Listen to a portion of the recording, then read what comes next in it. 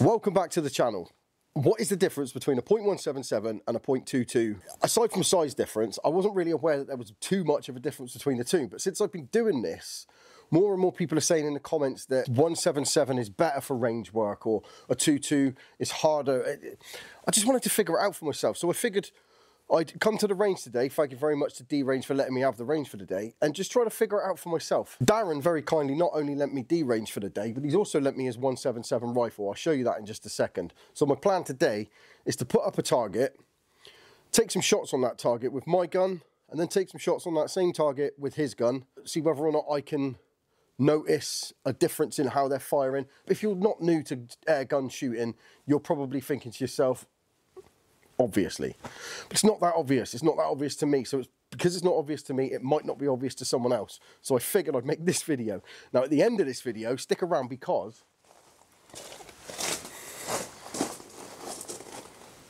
we're going to shoot some gel.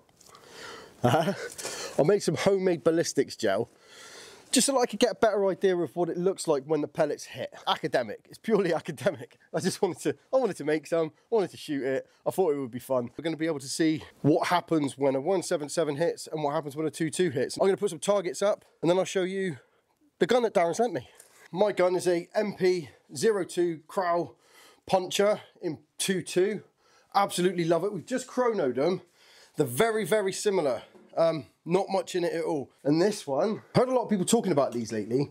Um, some good, some bad. I can't wait, to be honest. This is Darren's Air Arms S510 carbine. I suppose one of the interesting things in this video is also going to be the difference between a thousand-ish, maybe 1500. I don't, I'm not sure how much they go for. Definitely a thousand pound ish second hand and 250 pounds second hand. They're both the same foot pound, so I'm, I'm quite keen to just get into it, to be honest. Let's just shoot some, should we just, I'm just gonna shoot some guns.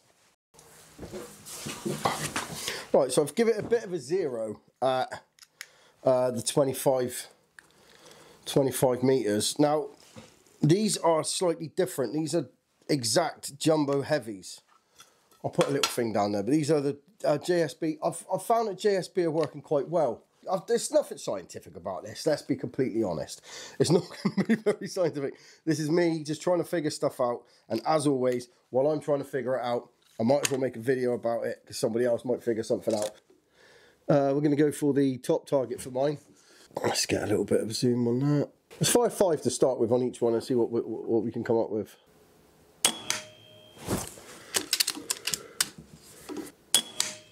Ah, that was awful. This is all me, 100%.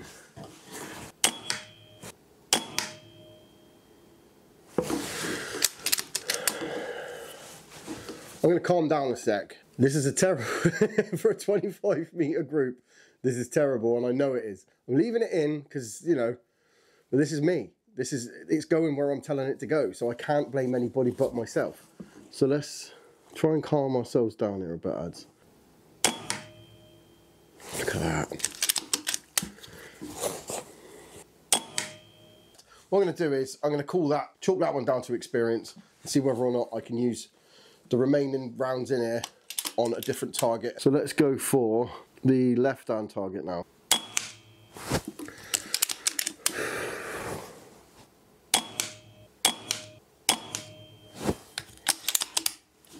Well, there's only four in there, but still not the best grouping in the world.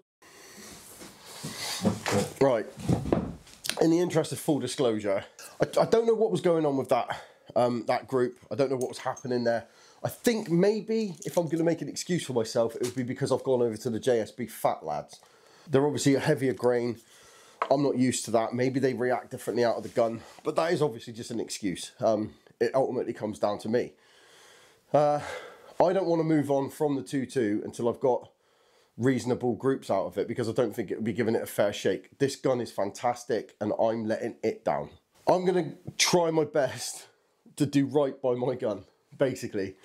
Um, I want this to work. I want this one to be good. So I want to move on to this one. I've got a good comparison. So it's only fair that I leave the bad group in though. I could just cut that out and pretend it never happened. Trust me, I did think about it. I'm just going to probably not talk for a minute I'll just, in the edit, it'll just be clip, clip, clip, clip, go top, Well, you'll see. You'll see.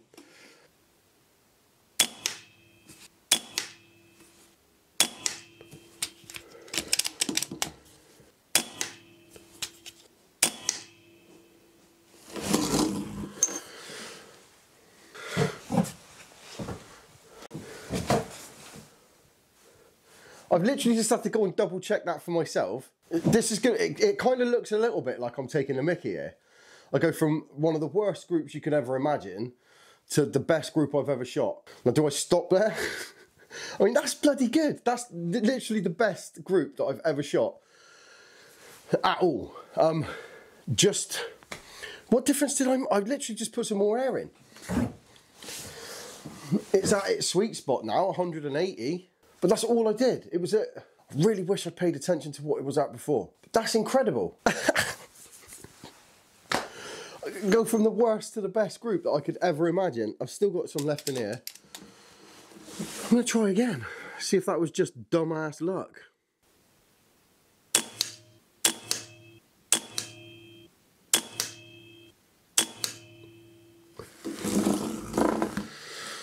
Obviously not as good as the first one, but given what's gone before, the first one exceeded expectations to the point where I was actually partly convinced that maybe I'd missed. I don't mean to be too understated, but I'm over the moon with that. Over the moon with that. It goes to show the difference that a bit of air can make though, if that's the only difference is air and taking your time. I was a little bit flustered on the first one. so I've moved the camera now. I'll have a look at this properly in a minute, but I'm buzzing with that. I've just been actually moving the camera and putting some more targets up looking at other people's targets that they've been shooting.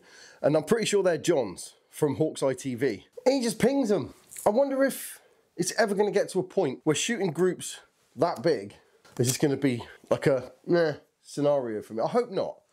Because when it starts getting that starts becoming a regular thing, I think that's when I start to move it out and make a bit more of a challenge for myself. But Let's have a go with this now. I've had a couple of shots with it, I'm not going to lie. I have had a couple of shots just to make sure. I've just literally plinked around the place, making sure that it's going in the right direction, if that makes sense. But I haven't tried any groups, so let's give that a go now.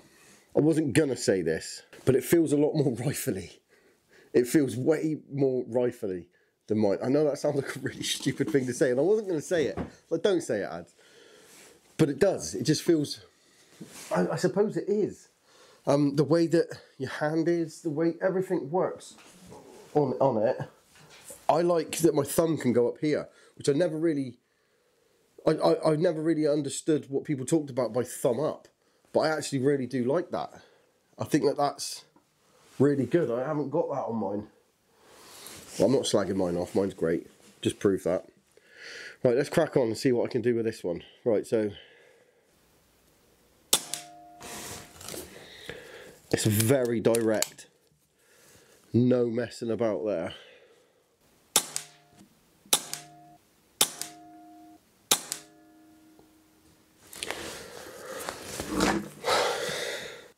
From a beginner's perspective, they're, they're the, roughly the same foot pound. They do behave massively different. It's really difficult for me to explain. They both do exactly the same job. They, they just do it in a different way. This feels a lot more class. It feels a lot more um, tight and together. And and I don't know if it's the 177 element or if it's the gun itself. I don't know what to tell you. This is just I'm just giving giving you my opinion. They do the same job. They're both as effective as each other, but one of them just does it in a lot more of a refined and grown up fashion. Petulant teen, grown up gentleman. I think that's the best way to describe it. Now I'm going to stop gassing on now because I'm really enjoyed that. Um, was, I'm trying. I'm trying to be a bit cool here. Do you know what I mean? I'm trying to not get too excited, but I'm gonna go ahead and try and shoot some more now. I pulled that one again. So I'm getting too cocky now, getting too carried away. Tell you what, let's go in between those two that I just shot, and then we'll prove that I can actually shoot something.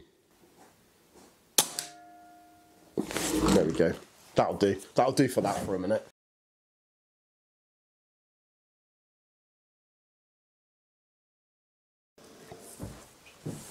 Right, so Darren's just been, we've been having a bit of a shoot and he's thrown something else in. So Absolutely love this. It's bit. Let me tilt you up that way a little bit. Is that better? There we go. Absolutely love this. This has been great. Um, for the point of the video, I wanted to see whether or not I could get decent groups with the 2.2 and decent groups with the 177 and try to draw some conclusions about which one's different, which if there's any if one's better than the other. And then I was worried that maybe because of the price range on that one, the price bracket might be the bigger difference. It might be that one's an expensive gun. Maybe it's got nothing to do with the caliber. So Darren stepped in with a Gamo Coyote 177. I don't know how much these guns are. All I know is from what he tells me, it is a budget gun. And he said, help yourself. So while I'm here, I might as well, hadn't I? Yeah, I'm gonna go with a, this is a 177 as well. See whether or not uh, it's down to the price. You know what I mean. Can I get groups with a budget 177? Okay. It's a lot more substantial. It's a, this is a chunky, chunky gun. Okay, so I'm going to go top left.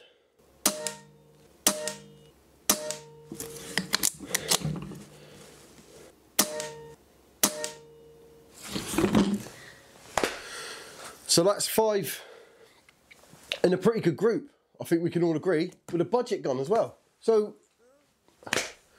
so it's not down to the price. I didn't expect this to happen today, so I haven't got anything in my head about what I'm supposed to say and what I'm not. But when it comes to budgets, again, and I don't want to keep banging on about budgets, we know that budget rifles work and we know that they work well.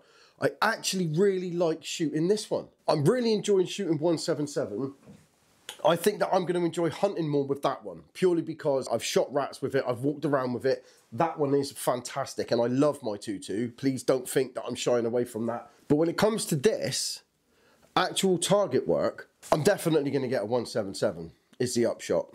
Um, but the whole point of this video was wasn't to try to figure that out. I mean, let's be honest, it was to try to shoot some ballistic jelly.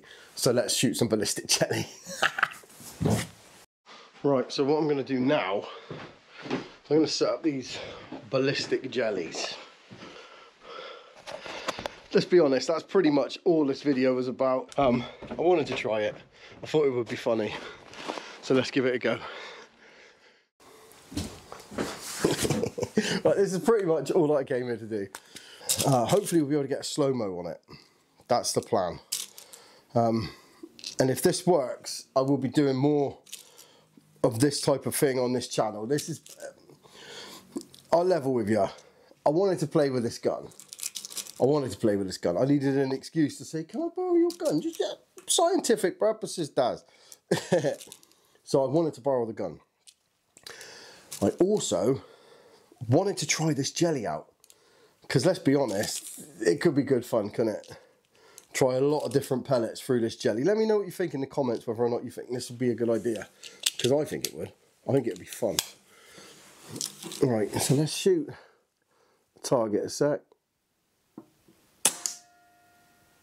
Okay, that's pretty much plumb where it's meant to be. So let's go for, let's go for the bull.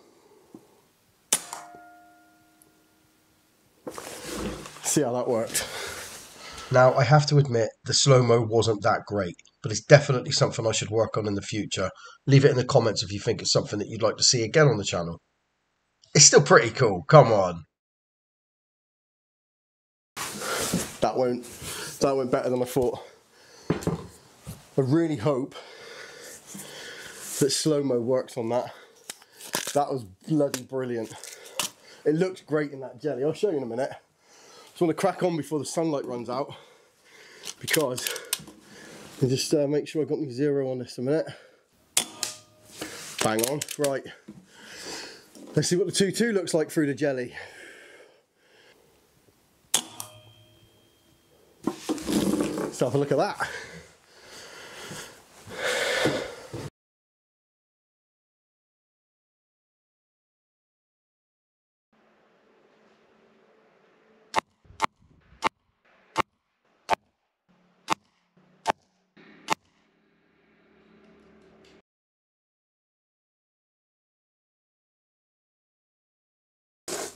Okay, so when it comes to shooting the ballistics gel, uh, I can really come up with anything scientific to say about it, aside from there's a lot more uniformity from the 177 than there was from the 22. The 177 also drilled a lot deeper. It went sort of two thirds of the way through, whereas the 2-2, I fired that, shot that from both sides, barely made it halfway. But no, but regardless of the result, it looked cool as hell anyway.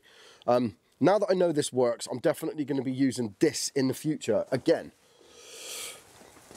And now to come to some sort of conclusion for this video, it actually turned out to be a way more conclusive video than I thought it was going to be. Probably not for the same questions that I asked at the very start, but the question was 177 or 22, what's the difference?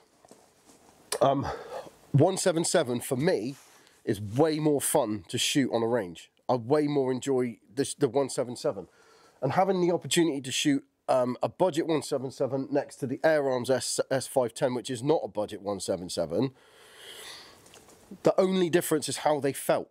Uh, they both performed exactly the same way. I can't draw a comparison between the performance. I can only draw a comparison between how they felt in the hand. And that's it. I know where the money goes with the S510. I know why people spend extra money on it. If I had that money, I probably would spend it because I love that. It was absolutely phenomenal. It was like a, it was like a, it was like a needle, like that. The Coyote, way, way more, um, more of a bully, I'd say.